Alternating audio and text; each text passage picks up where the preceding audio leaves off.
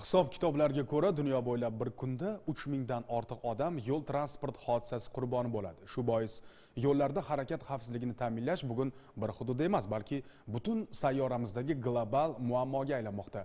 Respublikamiz yo'llarida ham inson hayoti va sog'lig'iga jiddiy xavf solayotgan hodisalar soni sezilarli ko'paydi.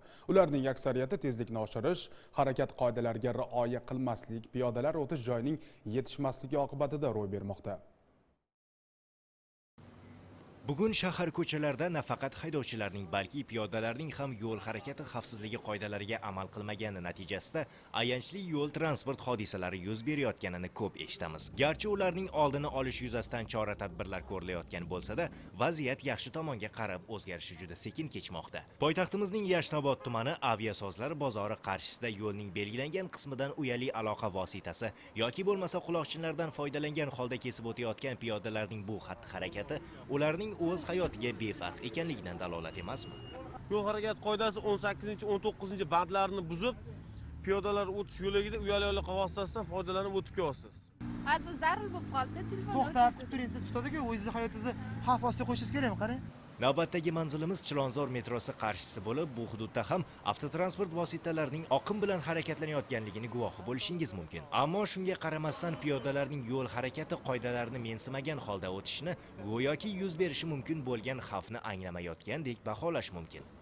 Yo'lning piyodalar o'tish joyidan telefondan foydalanib o'tyapsiz ma'muriy javobgarlik to'g'risidagi kodeks bir yuz o'ttiz sakkizinchi moddasi bor. Yo'lning qatnovidan o'tayotgan piyoda telefondan naushnikdan foydalanish mumkin emas bu ma'muriy javobgarlik tortishga sabab bo'ladi.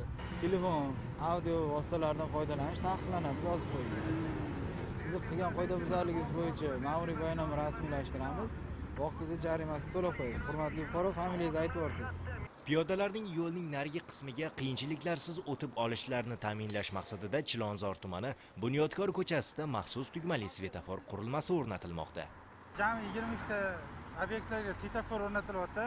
Bu hamma piyodalar e, tomonidan boshqariladigan tugmali svetoforlar o'rnatilyapti. Hozir tumanda e, jami yigirmata o'rnatildi yana ikkita joyda qoldi. Haydovchilarga tezlikni oshirmasdan piyodalarga tartibga solinmagan yo'ldan o'tayotganda yo'l berishlarini so'rab qolaman. Aholi orasida shuncha targ'ibot tadbirlari o'tkazilishiga qaramasdan piyodalar ishtirokidagi baxtsiz hodisalar hamon uchrab turmoqda. Uchtepa tumani katta xirmontepa ko'chasida piyoda yo'lning belgilanmagan qismidan harakatlanishi natijasida yo'l transport hodisasining qurboniga aylandi. Joriy yil to'qqizinchi dekabr kuni soat o'n olti o'ttizlarda piyoda bilan bog'liq bo'lgan yo'l transport hodisasi sodir etildi. Katta xirmontepa ko'chasida yigirma birinchi kvartalda yashaydigan fuqaromiz belgilanmagan joydan o'tganlar. Mashina mana shu joyda u piyodani ko'rmay qolib urib yuborgan. Piyodamiz e, olgan tan jarohatlarini e, tan jarohatlari natijasida voqea joyida vafot etgan. Vaholanki mana shu e, sodir etilgan payt joydan yuz metrga yetmasidan chorraha chorrahani tartibga solingan. Mana shu yerdan foydalanmasdan mana shu yerdan harakatlanganlar. O'zi o'sha tomondan kelganlar. Yuqoridagi holatlar takrorlanmasligi uchun yo'llarda hushyorlikni yo'qotmasligimiz zarur. Sizu bizdan talab etiladigani esa faqat bir narsa yo'l harakati qoidalariga rioya qilish. Zero yo'l intizomni yoqtiradi. Shahzod sultonov aziz raimboyev poytaxt.